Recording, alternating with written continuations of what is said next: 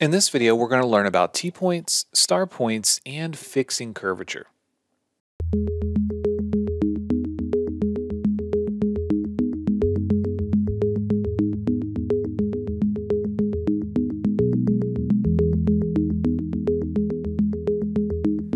Hey everyone, this is Matt with Learn Everything About Design, and in this video, we're going to talk about something that should have been covered very early on, and I just sort of missed it.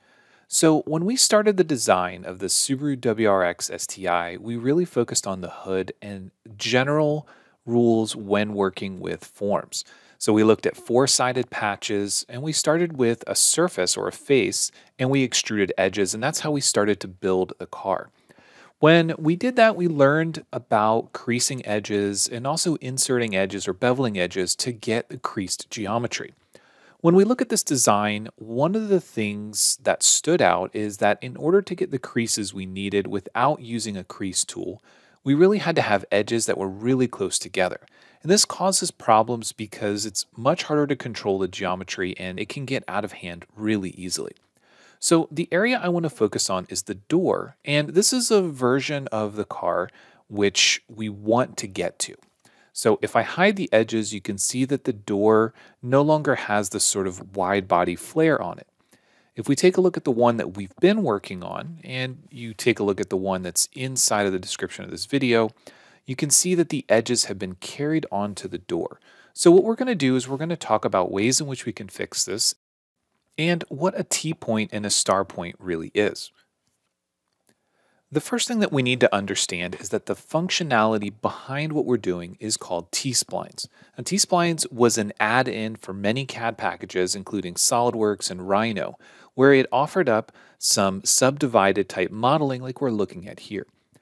What Autodesk did when they purchased T-splines years ago is they included it in Fusion 360 as the sculpt tools. It's also inside of Inventor in a little bit of a lesser extent.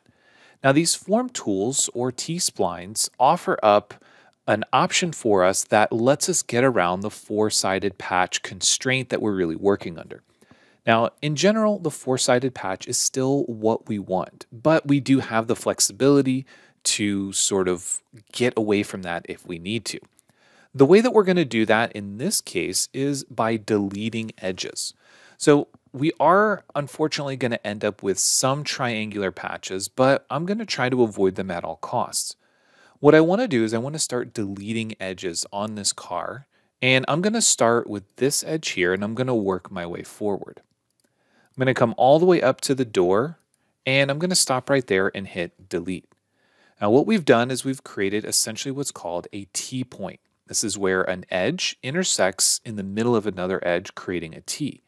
Now, T-splines will let us do that, and a lot of other subdivided modeling programs will not. This gets really tricky, and there are some things that we can do to mitigate any of the, the outcomes that we're going to get. But let's continue deleting some of these edges. The reason that we're deleting edges is because we don't need them. We don't need the additional control on the door. So I'm going to take this edge and I'm going to delete it as well.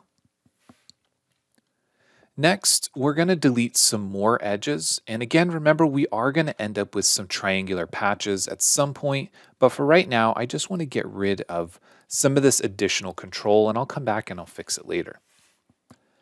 So at this point, you can see that we're starting to lose control of the curvature of the door and that's fine. We are going to come back and we're going to fix that. But uh, as I'm looking at this, I also think that I don't necessarily need this edge at all. I'm going to just delete it altogether. And then I'm going to take this edge here and I'm going to delete that first part. And essentially what I'm doing is I'm trying to push back the transition. So right now we're controlling the crease and then it's sort of blending or feathering out. Then I'm going to end up pushing some of these other edges together in order to control the curvature. So this edge and this edge are going to come together, and I think this one's probably going to go away as well. So let's let's delete some more, and I'm going to work my way forward. And I'm going to worry about the front in a little bit. I'm, right now, I'm, I'm solely focused on the rear. And lastly, I think I'm going to get rid of this. I can see that it's creating a pretty heavy crease on the door. We can tell by the shadowing we have the, the light or the reflection on the top, and then it sort of disappears. So we're going to get rid of that as well. Now, don't be too worried about the looks just yet. We're going to go to Modify, Weld Vertices, and we're going to bring these two together. Now, again, triangular patches generally not what we want, but we're going to try to start pushing these together.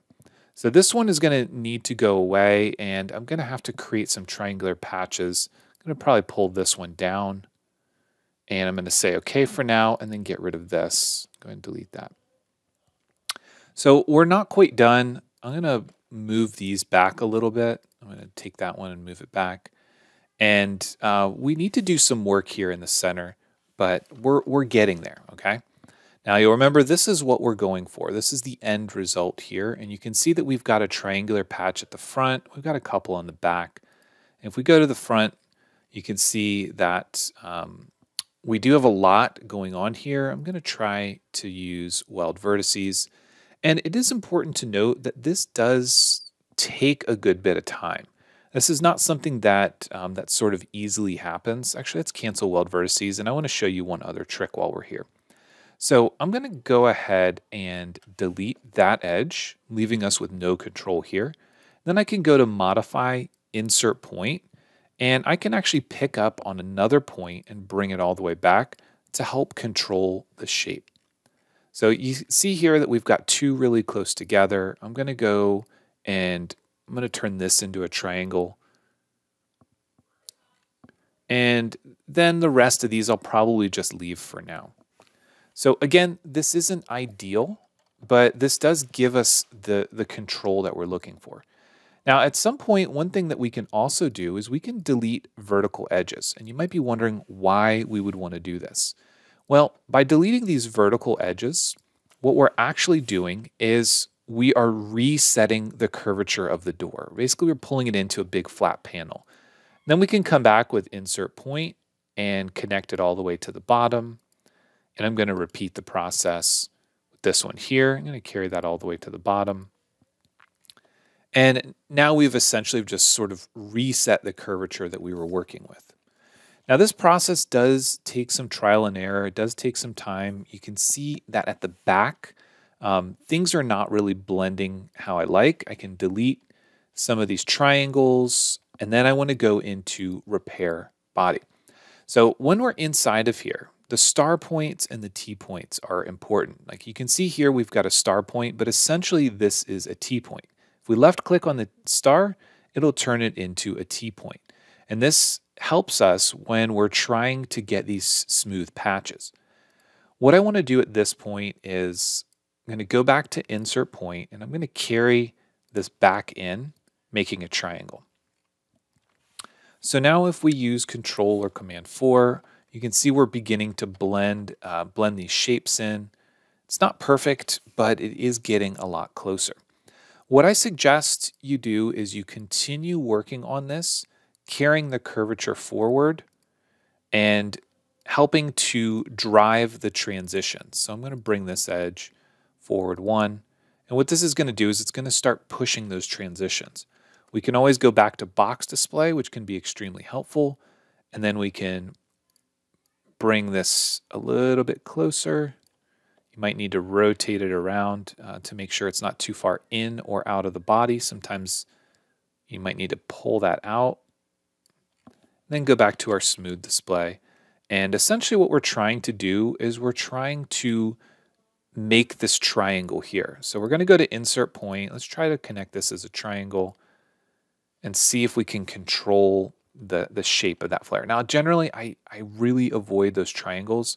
But again, with this car, we've got those sort of triangular sections where the fender flare sort of disappears. So now you can see that we're getting quite a bit closer. And that's the general methodology that I would use when I've got a, a model like this that has really complex curves where we really need the detail on those fender flares, but we need it to disappear on the door. Now, there are a lot of other ways that we can do this with surfacing tools, but when we're talking about these form tools or these T-spline tools, um, this is really what it comes down to is we're going to end up making some of these what we call T-points. I'm going to add just a few more. I want to carry this crease up a little bit and, and just control that transition a little better. Again, you're probably going to have to go back to box display and use modify, edit form, and you want to bring this probably closer and then rotate it around.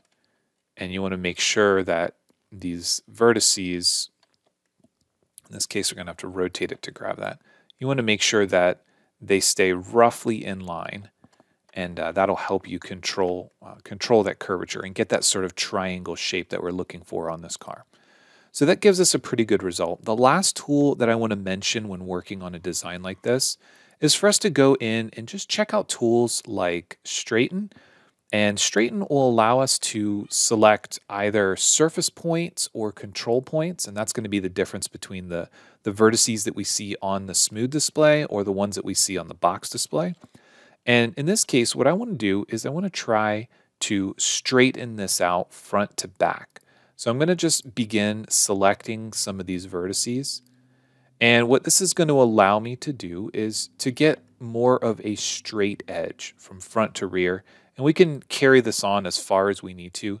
And depending on the car you're working on or the, the geometry or the design, um, this could be really helpful to sort of bring some of this back. Keeping in mind that there, um, there is some that some things that we need to worry about when we use these tools like straighten uh, because we are introducing curvature. So you can see here with with this with this box display like the fender flare itself this these two edges this face likely needs to go in. We need to pull it in. Um, and again go back and forth between box and smooth display will help you get that right but I think that's as far as I want to take this design for right now, at least uh, in this video. And I strongly urge you to play around with these, delete some edges, and uh, try to work with those T points and those star points and just see how you can reconfigure this. This version here, um, there's a little bit too hard of a crease on this door. If you take a look at the one that uh, we started with, you can see that the transition is much smoother. You can see that I didn't create as many triangles back here. So it does take a little bit of trial and error and playing around when you're trying to replicate something like this. If you're starting on your own, if you're starting a brand new design and you're not constrained by the geometry that's already been created, well, then you have a little bit more flexibility. But for this design, go ahead and carry on removing some edges, playing around with it, seeing what you can do to reconfigure that section, and uh, and try to get some of those, you know, that extra additional control out that we really don't need for those large sections. If you guys have any questions, please let me know. As always, thanks for watching, and we'll see you in the next one.